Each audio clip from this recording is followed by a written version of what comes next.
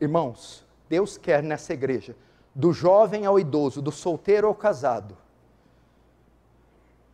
o objetivo é que todos cresçam no conhecimento.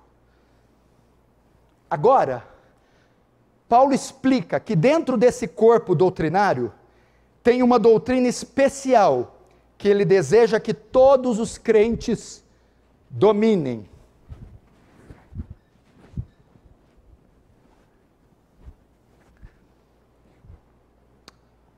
Ok? Paulo está falando agora da, da maturidade doutrinária.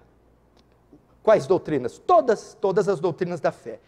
Mas dentro desse corpo de doutrinas, tem uma que Paulo diz: essa vocês não podem deixar de dominar, de crescer. Qual que é? Verso 13. Até que todos cheguemos à unidade da fé e do pleno conhecimento do Filho de Deus. Nossa maior ênfase dentro do conhecimento deve ser no conhecimento de Cristo. Ok? Mas espera aí, pastor, nós já não conhecemos Cristo?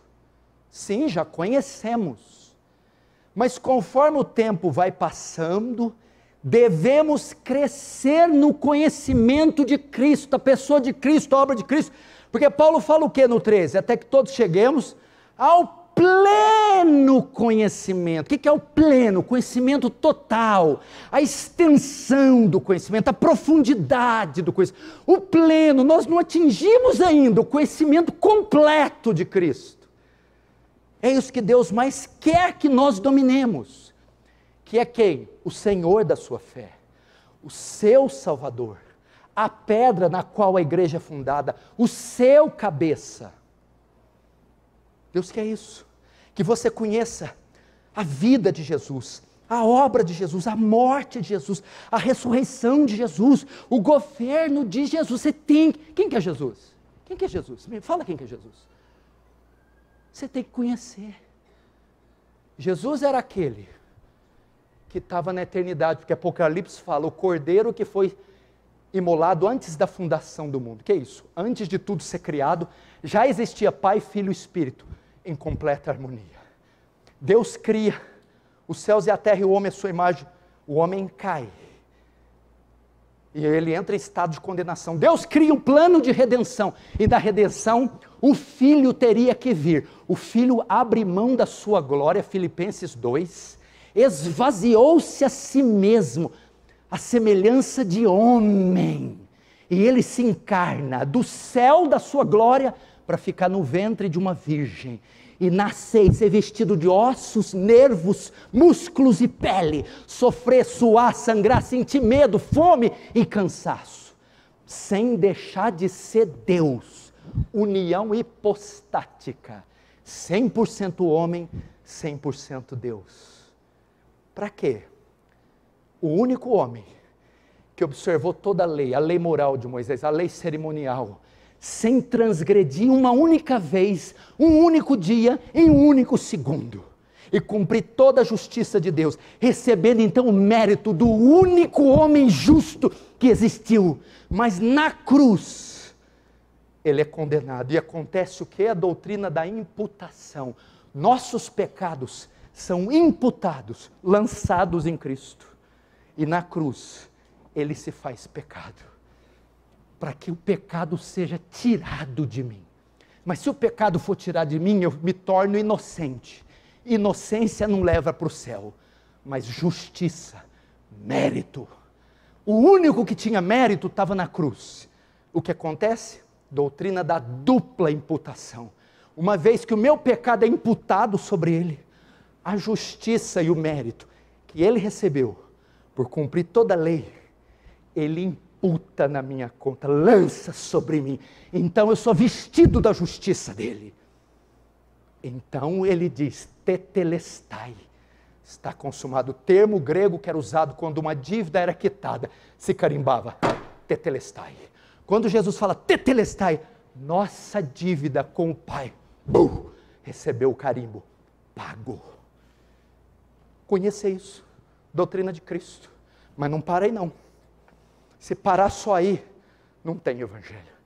Mas como eu faço para saber que o sacrifício dele foi suficiente para salvar uma montanha de pecadores.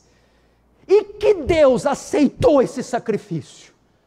É que no terceiro dia, todo o inferno parou de cima daquela pedra para dizer: daí você não sai mas nem a morte, a vida, os anjos, os principados, os soldados romanos, Césares, nem o Sinédrio, nem a e Caifás segurou aquela pedra, rolou, e ele ergueu-se de lá, mostrando que o Pai recebeu o sacrifício, que ele foi suficiente. Passados 40 dias aqui, ele dá uma ordem, junta seus discípulos na Galiléia, cerca de 500, e os comissiona e de pregar o evangelho para toda criatura da terra. A chamada grande comissão.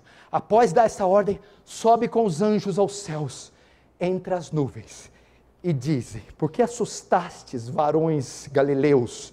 Do mesmo modo que viste ele subir, voltará outra vez.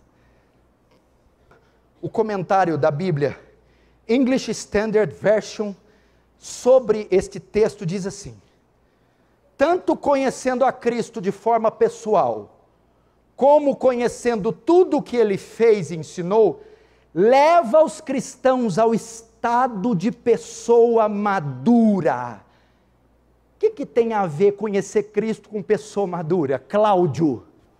Que a pessoa que domina o conhecimento de Cristo, ela não se mete em rascada, ela não é, não é imprudente, ela não é tola ela aprende a ter feeling, discernimento, ela aprende, ela aprende a ter fibra, ela aprende a ter fidelidade, porque ao olhar para Cristo e conhecer, e ver a sua fidelidade, abnegação, renúncia, amor, bondade, aquilo acrescenta para ela e ela amadurece. Primeiro século da igreja, é, Galiano, eu chamo você de Galileu. Galiano, Coliseu. Quem que morria mastigado no Coliseu? Hã? Os cristãos. Vamos lá. Quem que incendiava os postes de Nero, que eram queimados vivos? Os cristãos. Quem eram os primeiros martirizados? Primeiro Estevão, Tiago, aí foi indo. Pedro de cabeça para baixo, Paulo decapitado em Filipos, amando dinheiro. Aí depois começou, leões. Vai procurar a história do primeiro século. Não tem um crente negando, titubeando. Vinha um soldado romano em grego dizia: César Kyrios, César é o Senhor. Os cristãos, com olhos e rosto retesado, dizia: Jesus Kyrios, Jesus é o Senhor, e não negavam. Por que tinha uma fé dessa? Conhecimento de Cristo. Conviveram pessoalmente com Ele, andaram com Ele, viram Ele, ouviram dele. Então, após a sua morte e ressurreição, era impossível que eles negassem.